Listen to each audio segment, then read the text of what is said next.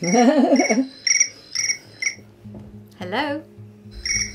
Hello, good morning. We clearly need to shut down. We know that we do not want to be in the same boat as any of these countries in 10 days' time.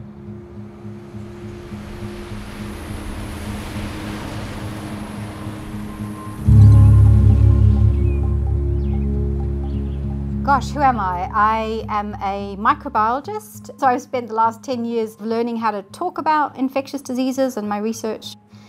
And then COVID 19 happened. The virus has now infected more than 34,000 in 25 countries. Global infections are climbing, with more than 180,000 recorded now since the outbreak started. A lot of people are still behaving as though this is just something that's not really going to happen to us. We have been asking our viewers the questions they want answered, and you're one of the very best people to answer them. Dr. Siouxsie Wiles joins us now. I love hearing from you. I love speaking with you because you keep things real for us and you tell us how it is. What we're really seeing now is what's happened when nature has collided with humans, you know, in this globalized world.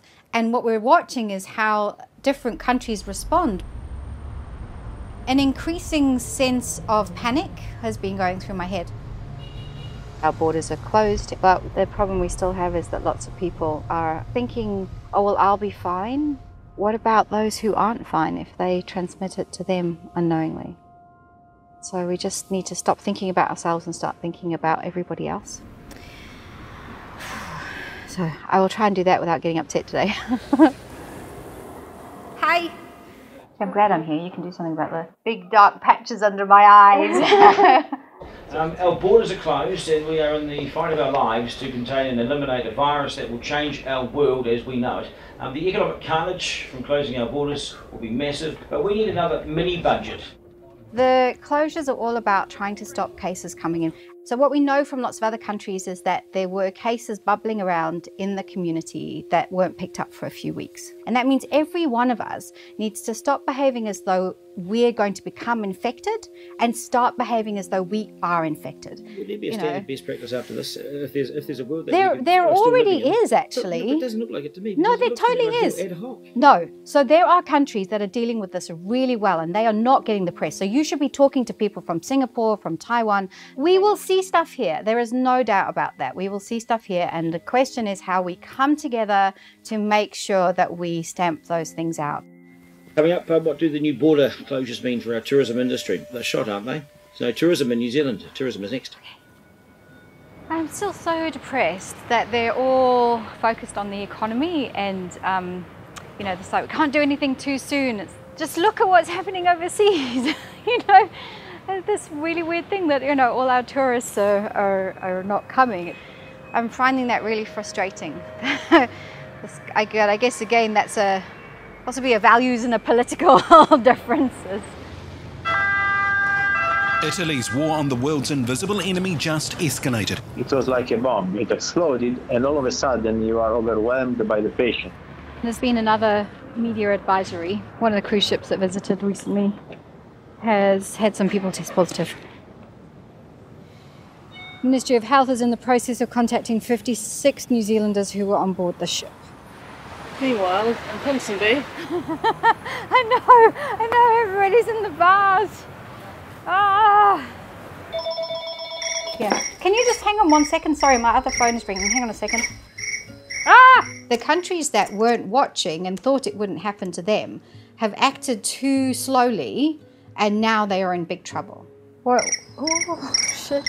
Oh my god, it's getting crazy. All right, we need to go back to the other room, but we need to check the. Ah!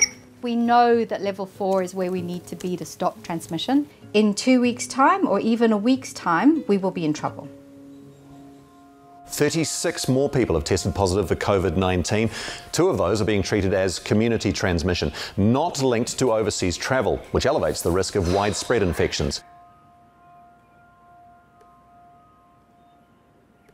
You have always been recognized by this hair color, even though the majority of people do not like it. I think everyone tolerates it as your knowledge is necessary.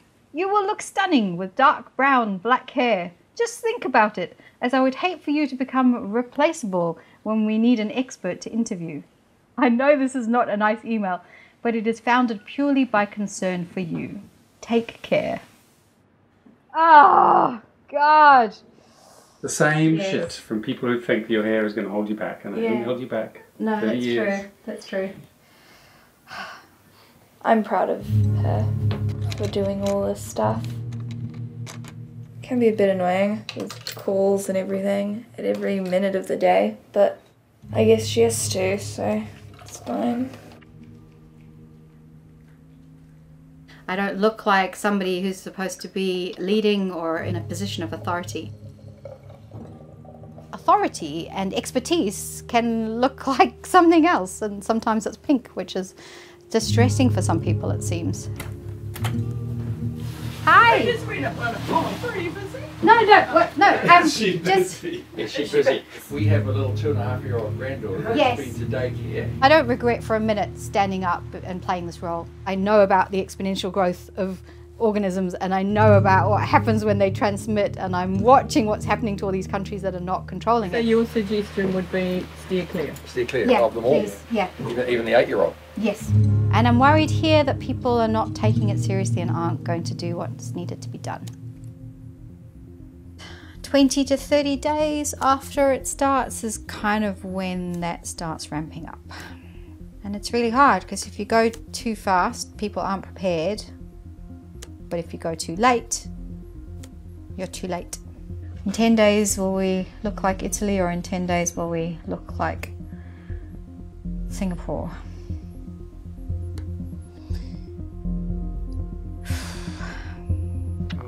God.